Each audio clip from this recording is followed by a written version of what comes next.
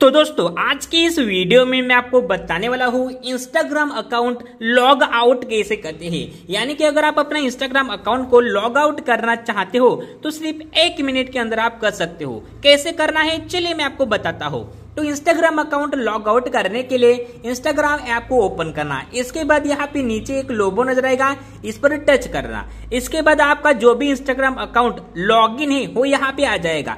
एक बात का ध्यान रखना, हो सकता है आपके पास दो अकाउंट लॉगिन हो तो आप यहाँ पे चेक कर लेना, जैसे कि यहाँ पे आइकन पर क्लिक करेंगे तो दोनों अकाउंट लॉगिन है तो दोनों आ जाएँगे। अब आप जिस अकाउंट को लॉग आउट करना चाहते हो, उस पर टिक मार पर क्लिक करना है, जैसे कि हम ऊपर वाला अकाउंट लॉग आउट करना चाहते हैं, इस पर टच करेंगे। अब यही अकाउंट हमारा लॉग है, ठीक है? तो इसको हम क्या करने वाले हैं? लॉग आउट करने वाले हैं, ठीक है? तो ये कोने में आपको थ्री लाइन देखने को मिलेगा, इस पर टच करना।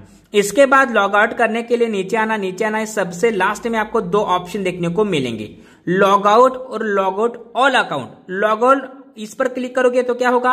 यानी कि लॉग आउट ऑल अकाउंट पर क्लिक करोगे तो क्या होगा? जितने अकाउंट है वो सारे लॉग आउट हो जाएँगे। लेकिन अगर आपको किसी एक अकाउंट को लॉग आउट करना है तो आप लॉग आउट पर क्लिक करना। इसके बाद लॉग आउट कर देना है यहाँ पे।